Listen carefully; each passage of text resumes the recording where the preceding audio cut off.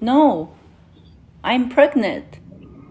No, but that's what I'm saying. The pill, they just give it to you from a doctor and then you're good. I am pregnant. I can't pretending like nothing happened. I can't. In my religion, we don't kill. You're not killing. Okay. What's up guys, Omni here. You guys know how it goes, another day, another video. Last night I tweeted I sleep. What recent news, topics, tweets, videos y'all want me to talk about tomorrow? And yeah guys, today is Monday, April 8th, and today's video is going to be a nice and short and sweet video. There's not a lot of news to talk about, okay, but there is one big news that the entire world is about to experience within like the next like three or four hours or so. JB and a lot of you guys asked me to talk about this, the totality of the eclipse, signaling the end of all and how we are all going to disappear tomorrow. Unfortunately, no, we're not all going to disappear, okay? This isn't some Majora's Mask moon stuff where the moon's about to crash into the earth in 72 hours, remain whatever, okay? It's not that big of a deal, but if you Google solar eclipse and press enter, it does this little cool little solar eclipse animation where it looks like the moon is going to be crossing the sun. Is that how it's going to work? A solar eclipse occurs when the moon passes between the earth and the sun and thereby obscuring the image of the sun for a viewer on earth okay and in layman's terms the sun doesn't give light to the moon assuming the moon's gonna owe it one bars and i get that by the time you guys watch this that uh, it'll be too late but you should not look at the sun or the solar eclipse without special glasses. Okay, if you look at it, I think it was a joke by Trump when he was president. It was some type of eclipse or something. He was like, "I'm just to look at it." Might as well just like staring at the sun, right? Don't do that. Apparently, looking at the sun, even when it's partially covered like a during an eclipse, can cause eye damage. There is no safe dose of solar ultraviolet rays or infrared radiation. Very small dose could cause harm to some people. That's why we say the partial eclipse could be damaging, and that's why we protect our eyes with partial as well as the full sun. If you don't believe me, there are people out here talking about how they looked at the sun and they got got. I did look at the solar eclipse six and a half years ago. I didn't realize or just didn't get the glasses and I thought it wasn't going to be a big deal. And I, I closed my right eye and I stared at the sun for a good like 15 seconds. Um, didn't think anything of it. Not an issue. The very next. Huh, what, yo, is that all it takes?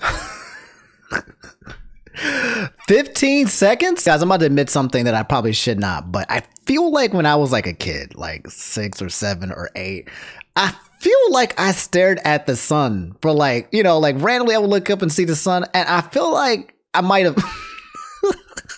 Okay, look, okay, don't call me an idiot. Don't call me fool. Don't start laughing at me. But I feel like I have some childhood memory of myself just staring at the sun because I was like, oh, there's the sun. It ain't doing nothing. I can stare at it. And I, I, I remember vaguely kind of just staring it down, like mean mugging the sun, like on purpose. And I don't know. I don't think I'm partially blind, but maybe I'd have better eyesight if I didn't do so. But 15 seconds, she one eyed the sun and then she got God. Day I woke up and I woke up on my, I think my what is my right side and I opened up my left eye to read on my phone and I couldn't read every other word. There was like a there was like a blind spot on every other word that I was reading. And I was like, okay, that's weird. Maybe I haven't like woken up. So I woke up, walked around the house. I couldn't see things. Like I couldn't see, and it was like a direct, you know what I mean? And I said, oh my God, nah, nah. And I, and I researched it, the solar retinop- retinopathy. I said, no, no, no. So basically, she went partially blind in one eye. That's terrible, right? Because now you have good vision in one eye, partially blind in another eye. So when you look at things, it's kind of like halfway blurry, halfway good. I don't know if that's a good thing or a bad thing. Maybe you should have been partially blind in both eyes so it's more consistent.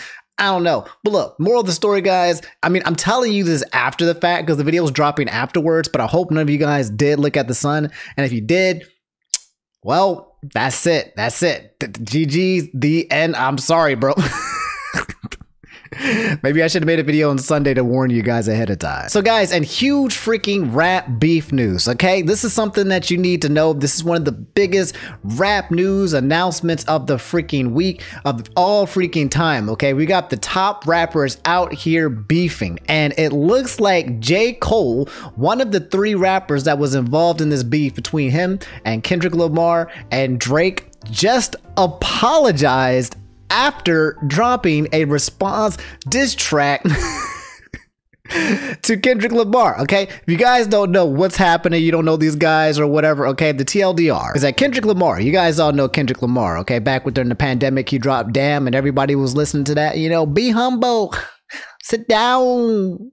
Be humble. That's for you normies out there. But a lot of you guys know him from The Pimp a Butterfly and Mad City. He's a pretty top rapper, one of the best has ever done it. He dropped a diss track. And in the diss track, he said, It's not Big Three, it's just Big Me. He was like, You know what? J. Cole and.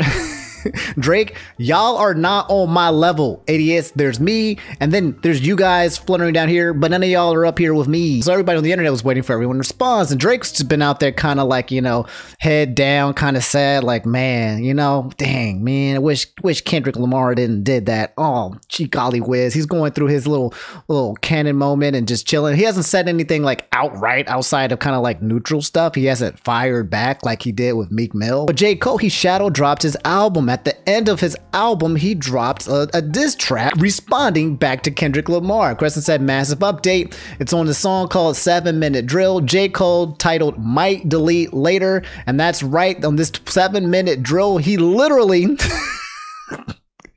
deleted it later. I think he might have actually took down the track. Now, as far as I can see, I'm looking on Spotify. I still see it on here, seven minute drill, but apparently it's getting taken down in different places. I don't know. I'm not going to play the song or the music because I'll get copyright striked, okay? But J. Cole basically responds to the diss track and it was cold. It was so weak. He even called one of like uh, Kendrick album's songs, I forget which album it was. He said it was garbage when everyone was like, What are you talking about? This is not a garbage album. And then also at the same time, he kind of like praised him at the same time. It was so bad. I don't listen to J. Cole like that, but I know J. Cole is a lot of people's favorites, but I, I haven't really been hip on the J. Cole. I listen more to Kendrick Lamar. And I listen to Drake. Everyone listens to Drake Drake. The TLDR is that his response was super weak and everybody was like, damn, bro, that's the best you can do, J. Cole. And then literally 48 hours, this man apologized. Incorrectly. And I pray that God align me back up on my purpose and on my path. You know what I mean? I pray that my nigga really didn't feel no way. And if he did, my nigga, I got my chin out. Take your best shot. I'm gonna take that shit on the chin, boy. Do what you do. You know what I mean? Like, all good. Like, it's it's love. And I pray that, you know, I pray that y'all are like, forgive a nigga for like the misstep and then and then I can get back to my true path. Cause I ain't gonna lie to y'all. Past two days felt terrible. Like it let me know how good I've been sleeping for the past 10 years. So all of that to say, man, I want to I want to now perform the song that's a reminder to me of getting back on the right path and getting in tune with God. And the name of the song is called Love Yours. I'm for y'all right now. Oh, some people are thinking like his diss track was so bad. How bad was it that he was like, you know what, Kendrick, I don't want you to respond. Before you fire back on my terrible diss track, let me just apologize and say sorry, okay? I probably shouldn't have done it in the first place. People don't know if he's saying sorry because the public response was weak and they said that he was getting defeated, or or maybe he actually felt it inside his chest and he made it. He's like, man, I don't feel too good, Mr. Stark. And then he just said he, he dialed it back. And the internet is freaking pissed off, okay? Rap beef, if you guys don't know, is like a sacred ritual when it comes to rappers. You're supposed to beef because you're supposed to fight and you fight with lyrics and then you, you, you evolve, right? The whole point is competition, right? You come out here and you're like, hey, oh, I'm a better rapper. No, I'm the better rapper. No, let me show you I'm the better rapper. No, let me show you I'm the better rapper, right? Especially when it comes to like people who are at the top doing it big. You want to kind of push people to the limits. It's a challenge. It's a duel. It's about pride, respect, and all of that jazz. J. Cole been talking about killing any rapper who try him for three years, and now it's all love. this is exactly what I've been saying for years. We had to sit and listen to these pump fakes for years for this guy to fold. Come on, man. All them wish a nigga would raps. Look, all I'm saying is that J. Cole probably been saying this about everyone except Kendrick Lamar, right? was any other person, right? J. Cole would have put that man in the dirt, happily stomped him, twisted, broke the neck, you know, but it was Kendrick, right? And if Kendrick gets a second shot, especially after such a weak shot like that, he's going to double tap, bro. J. Cole is going to be gone, gone. So he was like, you know what? Let me just shoot myself. J. Cole realized he was conflicted, misusing his influence, abusing the power of resentment, a resentment that turned into a deep depression. The evils of Lucy was all around him. Here's how I feel, okay? I'm conflicted too, okay? The evils of Lucy around me, okay? On one hand, I feel like I want some beef. I want these guys, I want some killers. They all say they killers, right? I want them to start killing each other. I want them to come out here, get better, evolve, make the verses, bring the rap beef game and make it excited. You know, like I like it. I like that freaking Kendrick came out there and said, spoke his piece. And I want to see people come back and bam, I want to see some challenge. It reminds me back in the day where like Eminem and like some top hip hop heads, I don't like them getting comfortable in their seats. It's supposed to be a thing where you compete in order to get better and not just kind of get to the top and just float around and lazy lazy. You know, it's it's a battle. It's a fight kind of way. It doesn't have to be like guns and killers and everything like that. But you know, in all of the rap game, you usually want to create some friction between the people, and you was going to get some friction between the top three. So I like seeing it. And also, I feel like this is probably was an apology that was delivered because his. uh because his disc was so bad. J. Cole missed, all right? He took a huge freaking L. You ever guys have any siblings and you punch somebody, you know, you just mad, you go, mmm, you punch them and you realize you do no damage at all, right? None, right? And you're like, oh my God. And they return in retaliation, you know, your ass is about to get beat. That's what happened with J. Cole. You go, I'm sorry, I'm sorry, I'm sorry, I'm sorry, I'm sorry, I'm sorry. I'm sorry. I'm sorry, I'm sorry, I'm sorry, I'm sorry, I'm sorry. You throw the punch. I'm sorry, I'm sorry, I'm sorry. That, that's basically what I feel like J. Cole do. He took a gun, he tried to shoot at Kendrick, bro, and the bullet bounced off his forehead, okay? And then he was like, I'm not built for this. I'm not. I'm sorry. Don't come back at me. I resign. I give up. Okay. I surrender. That's what I feel like would happen. On the other side, you guys know me, man. I'm, always about peace and conserving your energy and, and having good energy, right? And all I know is if I was J. Cole, right? If with my kind of energy, and then Kendrick came at me, I would have been like, man, bro. you stay safe out on these mad city streets, bro. Hey, you got it, man. If that's how you feel, I would have I would have humbled. I would have be humbled. Sit down. That's what I would have done, bro. Because number one, I'm not trying to get in beef with Kendrick because that man is a killer. Okay, he's the second thing closest to freaking Eminem that you're going to get, and you don't mess with Eminem. But also, number two, I think the dude is like pushing 40 as well. And, and it's, it's a thing when you kind of reach a certain point in your life where you realize that you don't need to get into this kind of potential bad energy, bad juju situation in order for you to proceed and do your thing, right? There's something big about kind of protecting your energy and just standing on your own business and moving forward without the influence of others and also still going in that right that's pretty powerful. So I, I, get both sides. I think the tldr though is that j. Cole took a super huge freaking l. Now everyone's going to start calling him l cole. I wonder if kendrick is going to fire back. Kendrick lamar might come back and be like you doo-doo you doo-doo. And now i'm curious about drake too because drake is just sitting here in the middle like He's just watching these two go at it. He watching J. Cole drop himself, and he's like, "Yeah, I don't know if I want to be a part of that life, not either. We shall see." All right, guys, we got to talk about wrestling. Okay, I'm not a huge wrestling fan. I used to be back in the day, but apparently, like the biggest, it's like the Super Bowl of WrestleMania events happen here. WWE, super huge things occur that I'm going to show you guys. But I got to be careful because whenever I show clips from WWE or WrestleMania or anything like that, I always get yoinked off the platform. Okay, but apparently, as you guys can see here, Caruto has said, "My boy." Return from the grave, The Undertaker came back and chokeslammed The Rock? no way, no way. My childhood is back. Undertaker is back. I remember he left. He came back. Oh my. Oh, you're done. done. Rock is absolutely toast, bro. You already know that Undertaker is just slinking onto the stage right now. And That light gonna come back on. He gonna be right in front of. How long has uh, Undertaker been gone?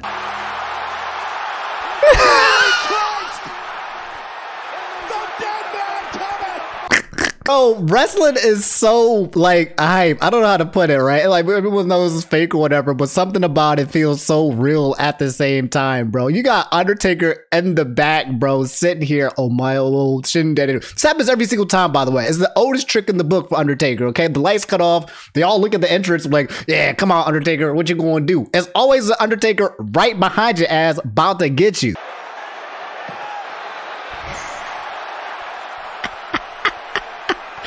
You cook. Oh, oh, oh, oh, oh. Done. Done. Rest in peace. HP Bar. I, he don't get up from that, right? I assume he don't get up from that. That's it. Wait a minute. Pause. Are you kidding me? They had The Rock versus John Cena face off?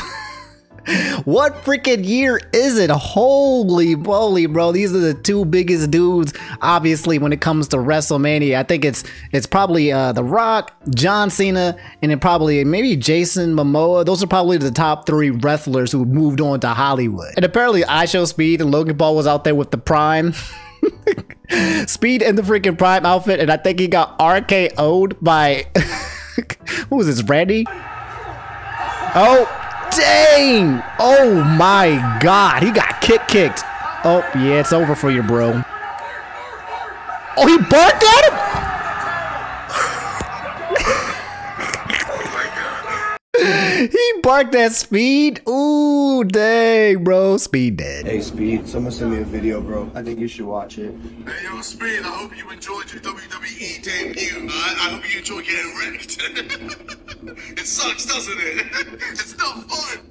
Anyway, I shall Sting, I shall me will play, and your ass beat.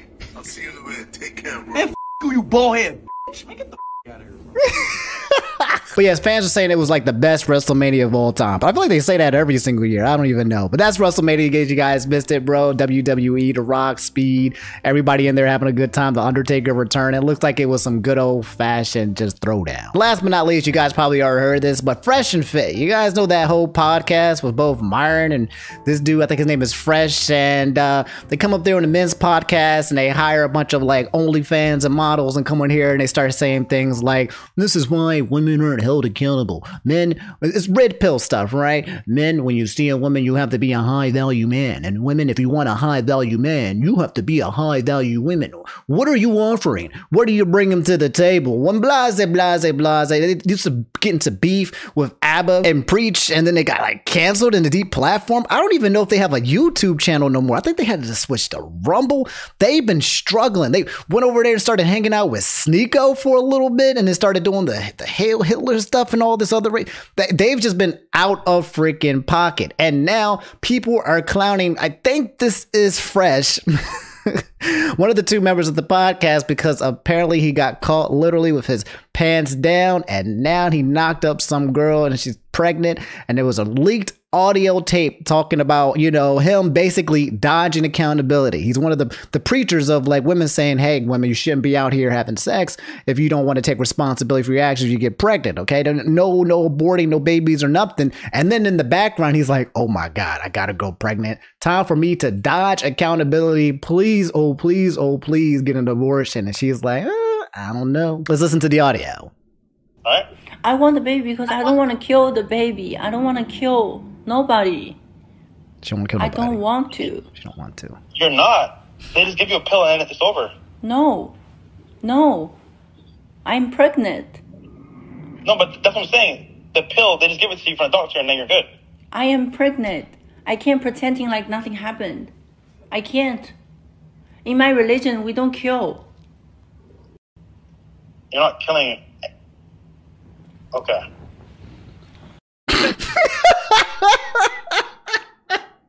I'm trying so hard to look. I already knew about this, right? But rewatching it is so freaking funny. Oh my god! Because I don't know if it's this goddamn face, the picture right here, okay? But like the conversation feels like it's like a conversation that's being done by like freaking high schoolers. It's so like, oh my god! I'm holding that back. I'm gonna try not to laugh. I'll try not to laugh. All right, hold up. Let's just let's be serious here. I want to keep the baby. Okay. Well, like I said, I just don't want any kids. You know? Okay, so what you gonna do? And what you gonna do to me? Nothing. Well, why did I do anything to you? Nothing? What, why did I do anything to you? No, I know. So like, how are you gonna deal with this?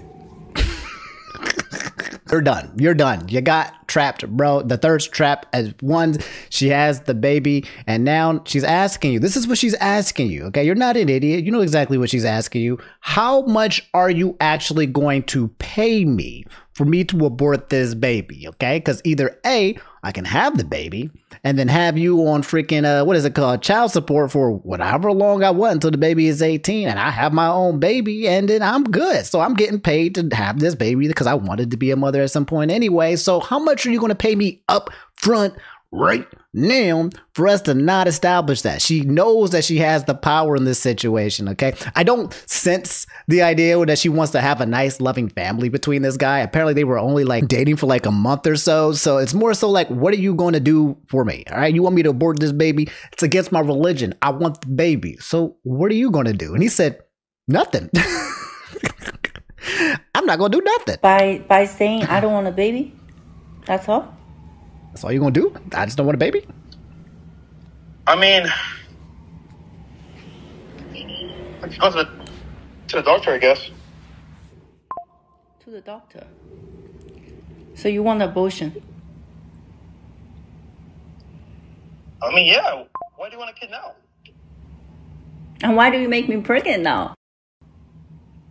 That's I'm like, there's no way that that's true. But then it's like, oh wow, like So just think about it. It's meant to be. God Sorry? wants God wants you to have the baby. definitely not. It is. God wants you to have a baby. Seven years never happened, and then you're relate in a relate. You're fucking me for a month, and I'm pregnant. What does that mean? Well, Like it, now, I just think about if like if you force me to kill the baby, then you're a sin. well, we already sinned by having sex, but it's too late now.